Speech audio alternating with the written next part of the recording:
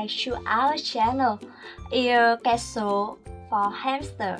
Hope you enjoy and if you have any idea or suggestion for us, then leave us a comment below.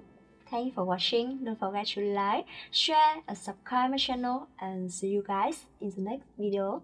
Bye bye.